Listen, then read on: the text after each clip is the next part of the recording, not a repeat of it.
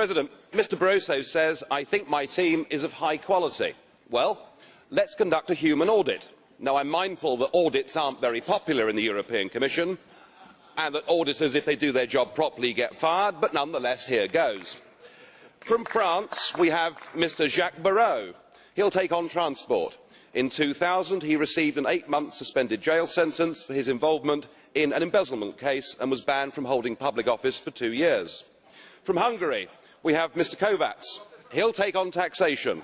For many years, a communist apparatchik, a friend of Mr Kadar, the dictator there, and an outspoken opponent of the values that we hold dear in the West.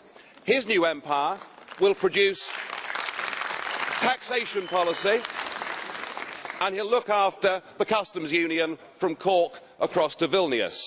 Are the EPP and British Conservatives really going to vote for that? From, Estonia, we have Mr Kallas. For 20 years, a Soviet party apparatchik until his newly acquired taste for capitalism got him into some trouble. Though, to be fair, he was acquitted of abuse and fraud, but convicted for providing false information, and he's going to be in charge of the anti-fraud drive. I mean, you couldn't make it up. From the UK, we've got Peter Mandelson.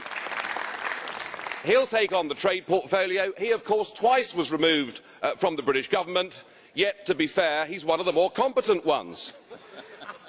From the Netherlands, we've got Neelie Kroes she'll take on uh, competition. she's accused of lying to the european parliament. now these may only be allegations but they're made by mr van buitenen and i think should be listened to.